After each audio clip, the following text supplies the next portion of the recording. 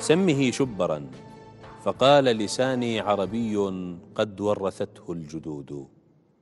حسنا سمه فللقمر الحلو من لما عينه لمن وخدود.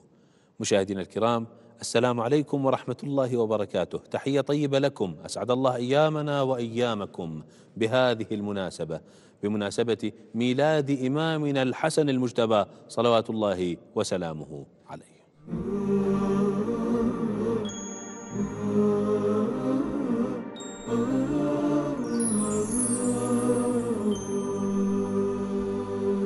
الله أيامنا وأيامكم مشاهدينا الكرام بهذه المناسبة ونحن في رحاب الكوثر المهدور الإمام الحسن المجتبى صلوات الله وسلامه عليه. وفي رحاب هذه الذكرى في ذكرى ميلاده في هذه الأيام التي هي مليئة بالطاعة والمغفرة إن شاء الله. تحية طيبة لكم وتحية طيبة لضيفنا العزيز وأستاذنا الفاضل الأستاذ في الحوزة العلمية الباحث الإسلامي الخطيب الأديب سماحة الشيخ مهدي الساري. نحييه تحية حسنية رمضانية طيبة. السلام عليكم ورحمة الله وبركاته. عليكم السلام ورحمة الله وأسعد الله أيامكم وأيام السادة والسيدات المشاهدين. كل عام وأنتم بألف خير سماحة الشيخ. أعاده الله علينا وعليكم إن شاء الله. هذا الشهر الفضيل وهذه المناسبة العظيمة إن شاء الله. ونحن على أعتاب سيدنا الحسن صلوات الله وسلامه عليه. الحسن الحلم الحسن الهيبة الحسن الجمال الجلال الشجاعة الكرم والحسن اسم صلاة. على مسمى. كل ما هو حسن ينتهي إلى الحسن المجتبى صلوات الله وسلامه عليه. ما هي البطاقة الحسنية لهذه الليلة؟ بسم الله الرحمن الرحيم الحمد لله رب العالمين والصلاة والسلام على محمد وآله الطيبين الطاهرين. الإمام الحسن المجتبى هو الوليد أو الولد ونتيجة زواج أمير المؤمنين أو اقتران النورين أمير المؤمنين والزهراء. ولد في السنة الثانية أو الثالثة من الهجرة لرسول الله ولا يخفى على حضرتك والمشاهدين الكرام أن رسول الله كان يعير بأنه أبتر. يعير بأنه أبتر.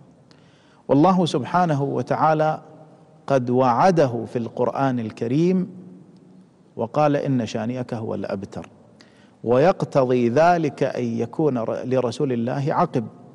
فما كان عقب رسول الله صلى الله عليه وآله. أو من كان عقبا لرسول الله وولدا له الإمام الحسن المجتبى هو أول نتيجة زواج أمير المؤمنين والزهراء. وقد ورد عن رسول الله أن كل الأنبياء أو كل الناس آه، عقبهم من صلبهم إلا رسول الله صلى الله عليه وآله. فرسول الله عقبه. والذرية المنسوبة إليه من بنته فاطمة. ومن صلب أمير أحسنت. الله فالنتيجة الأولى الكابتة الكامدة التي تورث قلب الشانئ آه، الهم هو الإمام الحسن صلوات الله عليه. ميلاد الإمام الحسن كان سرورا لبيت النبوة في أعلى درجة. وقالت الزهراء على مقتضى قاعدة الشرع أن من يسمي هو الأب فقالت له سمه. فقال ما ما كنت لأسبق رسول الله صلى الله عليه وآله. فجيء به لرسول الله وقدم لرسول الله صلى الله عليه وآله. أذن وأقام في أذنيه وعق عنه وتصدق عنه وسماه حسنا والتسمية بأمر الله سبحانه وتعالى قال ما كنت لأسبق ربي فنزل الوحي إليه أن سمه حسنا. فسماه الحسن أو سماه حسنا وذلك لأن كما يعلل في الروايات الشريفة بأن الإمام الحسن صلوات الله عليه لأن أمير المؤمنين لرسول الله بمنزلة هارون من موسى فكذلك روعيت هذه المقارنة وسمي الإمام الحسن باسم ولد هارون. فهذه الدلالة حتى في اسم الإمام الحسن كذلك لا بد فيه من علاقة ما بين رسول الله فالإمام الحسن المجتبى هو نتيجة اقتران بيت رسول الله مع بيت أمير المؤمنين اصطلاحا عرفيا. فالإمام الحسن المجتبى نتج في هذا البيت وتغذى من رسول الله وتغذى من الوحي فكانت هيبته هيبة رسول الله. كما ورد أن زهراء جاءت بالحسن والحسين إلى رسول الله صلوات الله وسلامه وقالت يا رسول الله انحلهما فهما ولداك ورثهما شيء. فقال للحسن هيبتي. فهيبة الإمام الحسن المجتبى.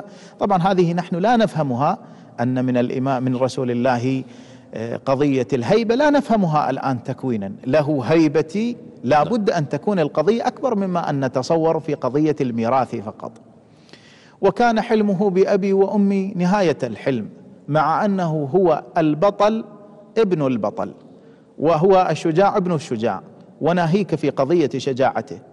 لكن الإمام كان في منتهى الحلم. الإمام حينما القضية المعروفة حينما يأتي إليه الشامي وإذا بالإمام مع أنه يسب الإمام والإمام يقول له آه، فإن استعتبتنا أعتبناك. يعني إن كنت تريد الرضا فنحن نرضيك. إن كنت جائعا إن كنت محتاجا للكسوة كسوناك إن كنت محتاجا للإيواء آويناك فإن لنا جاها عريضا وإن لنا مالا كثيرا. فاجعل رحلك إلى رحلنا. وبهذه الأخلاق السامية الإمام يكتسب قلبا من أعداء الله فإذا به يصبح من مواليه ومن شيعته. فهذا الإمام الحسن المجتبى بصورة ملخصة أو خلاصة. الإمام الحسن المجتبى له فضائل كثيرة. نعم. كان ينقل في صغره ينقل ما يخطب رسول الله صلى الله عليه وآله. يأتي إلى بيت الزهراء فينقل تلك الخطب. وإذا بالزهراء تكون فرحة. مستبشرة مسرورة بما قد ورث ابنها من رسول الله صلى الله عليه وآله في خلقه وخلقه وفي شب شبهه برسول الله صلى الله عليه وآله. وأنه يدأب في تعلم الأمور العادية من رسول الله صلى الله عليه وآله. فعلى صغره كان يحفظ ما يقول رسول الله. وناهيك بهذا أنه صغير فيحفظ ما يقول رسول الله صلى الله عليه وآله. فيأتي به إلى البيت ويلقيه. نعم. فكان أمير المؤمنين فكانت الزهراء تخبر أمير المؤمنين وقضية من القضايا أن أمير المؤمنين آه، سمع الإمام الحسن فكان الإمام الحسن لا يستطيع أن يتحدث لأنه صغير فأخذته هيبة أمير المؤمنين أمر عجيب غريب يعني في الرواية حينما نعم. يقرأه الإنسان فالإمام الحسن المجتبى هو نتيجة ها نتيجة هذا النور أو اقتران النور نور الزهراء التي هي من نور الله. وأمير المؤمنين الذي لا يعرفه إلا رسول الله صلى الله عليه وآله. كانت النتيجة نتيجة الإمام الحسن بأبي وأمي. لنا عودة إلى الحسن المجتبى. صلوات, صلوات الله وسلامه عليه. ولكن بعد أن أخذ فاصلا قصيرا سماحة الشيخ مشاهدينا الكرام لا تذهبوا بعيدا. لنا عودة في رحاب سيدنا ومولانا السيد الكريم الإمام الحسن المجتبى. صلوات الله وسلامه عليه. في منتصف شهر رمضان المبارك من السنة الثالثة للهجرة امتلأت أجواء المدينة المنورة بالفرح والسرور. فقد استقبل النبي صلى الله عليه وآله وسلم خبر ولادة سبطه الأكبر. فجاءت السيدة فاطمة الزهراء عليها السلام إلى أبيها النبي صلى الله عليه وآله وسلم بالوليد المبارك. فأذن في أذنيه وأسماه حسن. وكان الحسن عليه السلام أول من سمي بهذا الاسم. عاش الإمام الحسن عليه السلام طفولته في رعاية جده الرسول صلى الله عليه وآله وسلم فكان يعامله بعطف وحنان ويحمله على ظهره ويقول إن هذا ابني وأنا أحبه وأحب من يحبه.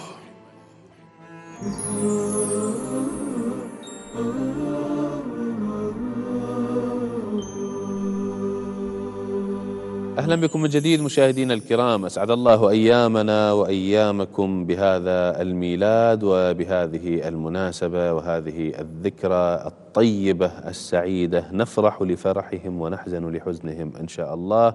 عسى أن نكون ممن يرزق شفاعتهم يوم لا ينفع مال ولا بنون إلا من أتى الله بقلب سليم. عودة إلى ضيفنا العزيز وأستاذنا الفاضل الأستاذ في الحوزة العلمية سماحة الشيخ مهدي الساري. حياكم الله الله يحييكم ويحفظكم إن شاء الله. سماحة الشيخ آه، الحسن المجتبى صلوات الله وسلامه عليه بعيدا عن النوازع كما أشرتم لعله في حلقة سابقة إلى هذا الأمر.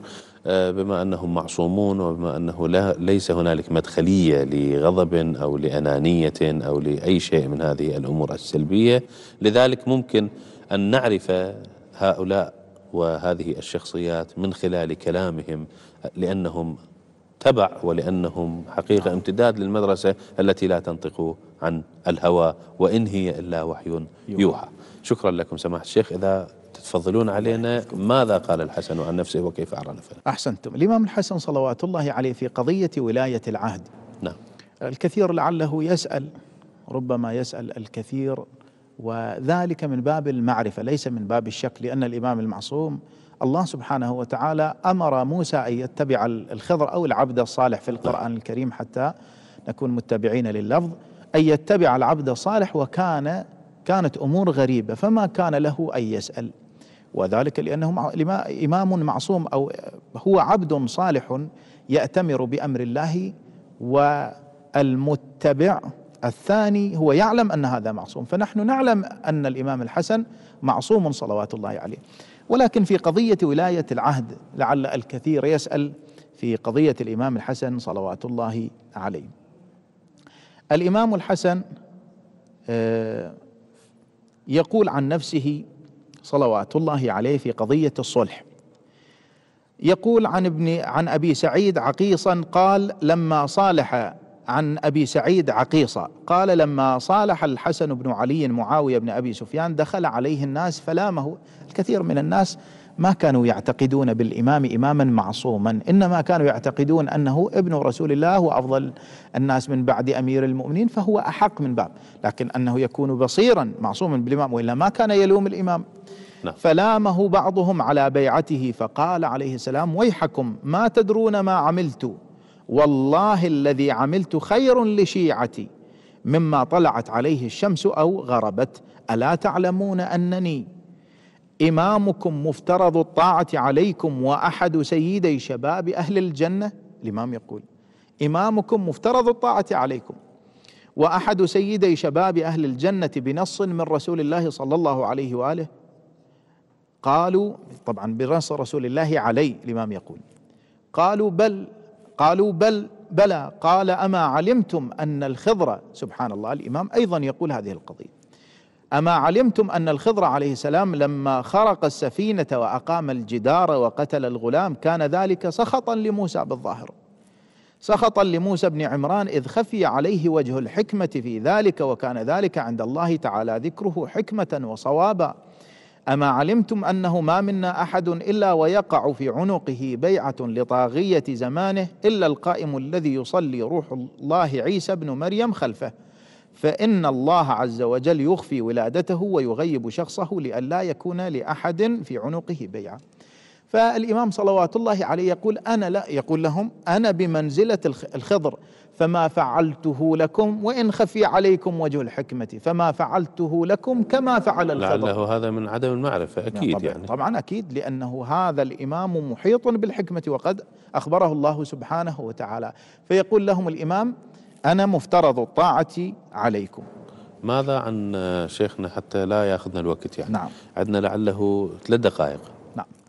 نحن من باب القراءة وإلا نعم. الكثير لا يمكن أن نعم. نعرج أو نقف عند كل المفردات أو كل الألفاظ ورد أنه في أخريات حياة الإمام نعم. دخل عليه بعض أصحابه وهو جنادة بن أمية يقول دخلت على الحسن بن علي في مرضه الذي توفي فيه وبين يديه طشت يقذف فيه الدم ويخرج كبده أو يخرج كبده قطعة قطعة من السم نعم.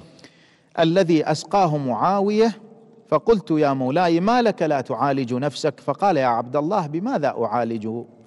الموت قلت إنا لله وإنا إليه راجعون ثم التفت إلي وقال والله إنه لعهد عهده إلينا رسول الله أن هذا الأمر يملكه اثنا عشر إماما من ولد علي وفاطمة ما منا إلا مسموم أو مقتول.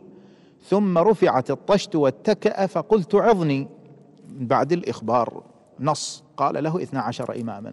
فقلت عظني موعظة يا ابن رسول الله.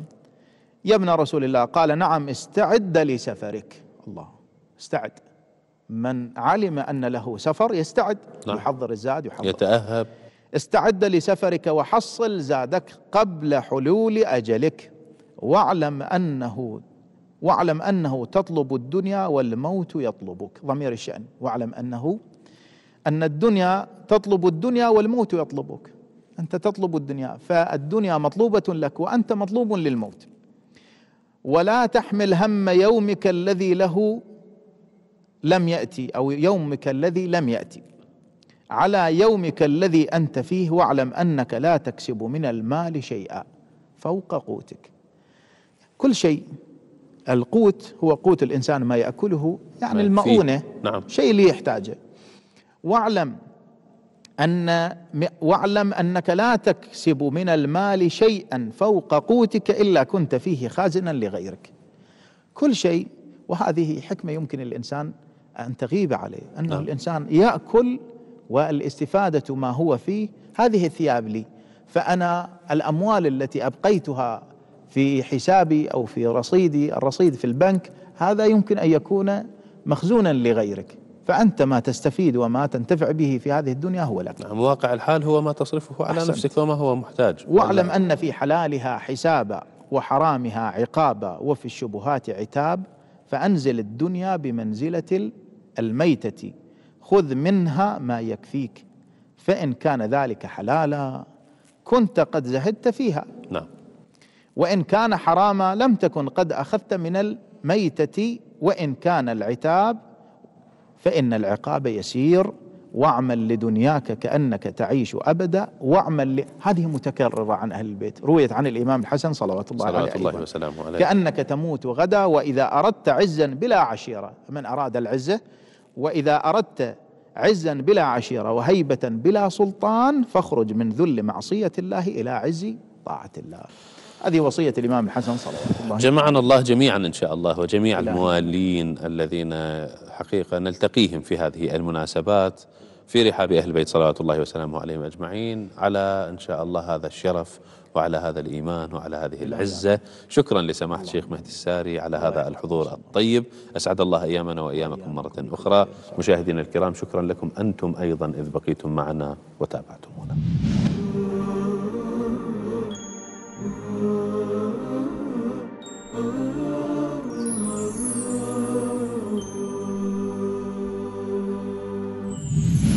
بآل محمد عرف الصواب وفي أبياتهم نزل الكتاب.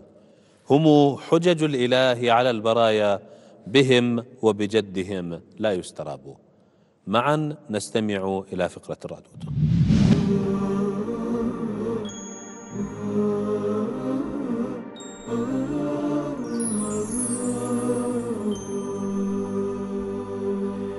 وجه الحسن ضوع الملأ جنة عدن ساجدة إليه. وجه الحسن ضوع الملأ جنة عدن ساجدة إليه.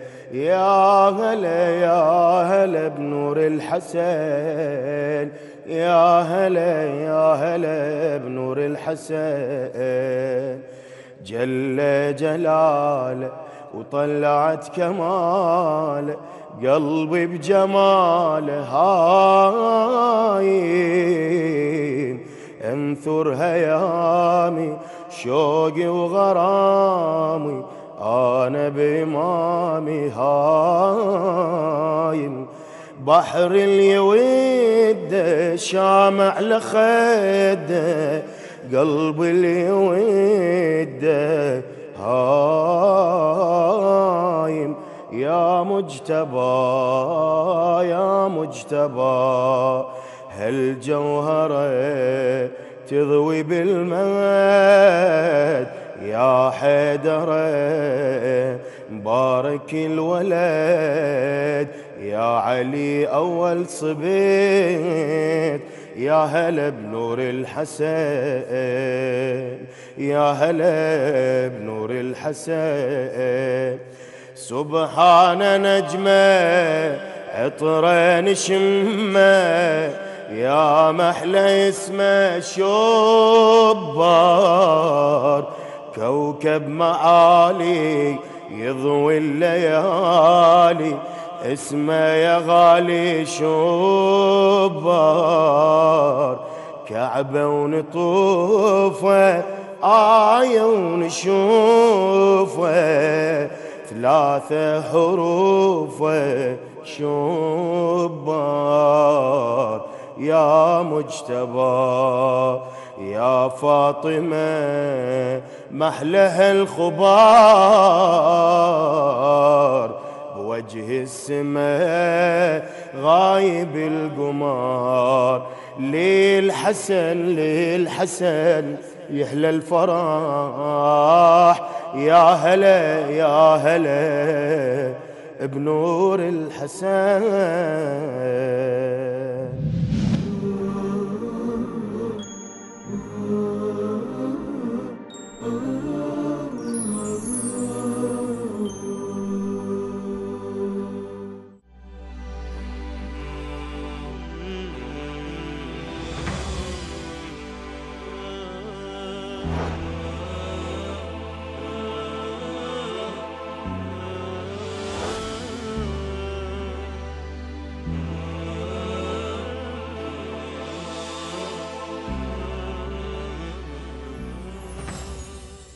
بين النبوة والإمامة معقد ينميه حيدرة وينجب أحمد.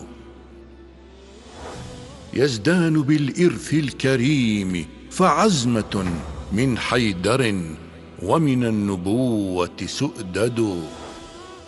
فإذا سما خلق وطابت دوحة فالمرء بينهما السري الأوحد. يا أيها الحسن الزكي وأنت من هذه المصادر للروائع مورد. أأبا محمد أيها السبط الذي آواه من حجر النبوة مقعد. وشدت له الزهراء تملأ مهده نغما غداة تهزه وتهدهد. ورعته بالزاد الكريم عناية لله تغدق بالكريم وترفد. عيناه تستجلي ملامح أحمد. وبسمعه الوحي المبين يردد. زهت النجوم على سماك وليس في أفق نميت إليه إلا فرقد. يا من تمر به النجوم وطرفه نحو السماء مصوب ومصعد. يا ترب طيبة يا أريج محمد يا قدس عطره البقيع الغرقد. حيتك يا روض البقيع مشاعر. قبل الجباه على ترابك تسجد. وروت ثراك عواطف جياشة. وسقت رباك مدامع لا تبرد.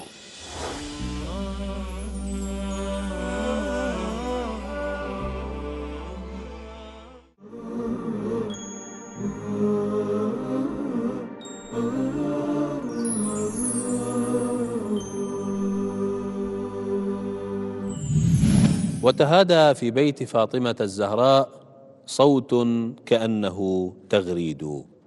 هكذا اجتمع الحسن في بيت علي وفاطمة ليكون الحسن المجتبى.